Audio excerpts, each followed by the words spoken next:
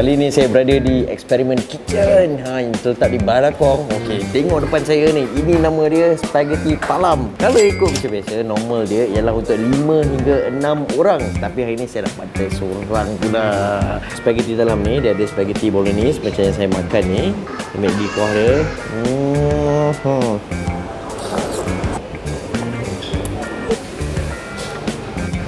Lepas tu dia ada apa lagi? Dia ada kambing, dia ada daging, strip loin, grilled chicken, tiga jenis potato kat sini, french fries, dia ada wedges, curly fries, lepas tu dia ada coleslaw dan dia akan serve dengan ni, black pepper sauce.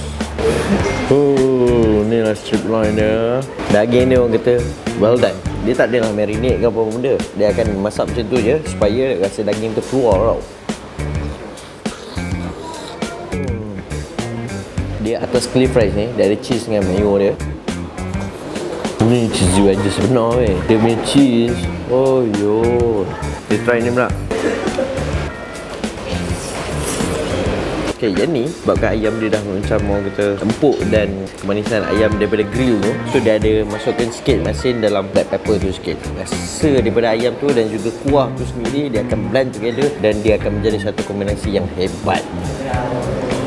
Hmm, kita ambil kambing pula Korang nampak? Portion dia besar mana?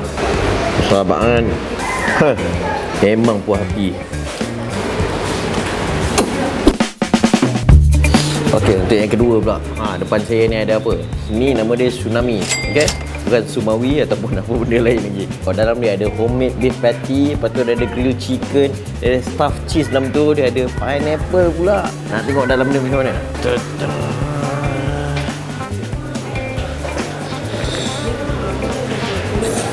Homemade patty dia. Oh yo. Nampak dengan beef bacon dia punya crispy lagi. Orang akan dia lemaskan dengan ketiga-tiga bahan ni. Bacon, beef patty dia dan juga grilled chicken.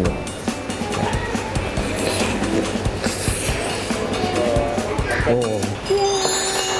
Ini untuk seorang ataupun dua orang. Kalau ikut ni saya, ni tiga orang punya makan ni. Tu dia sangat membalut ya. Dengan macam ni anda dapat balik rumah tidur lentuk terus weh. Kenyang ni orang kata panggil apa? Kenyang bodoh lah.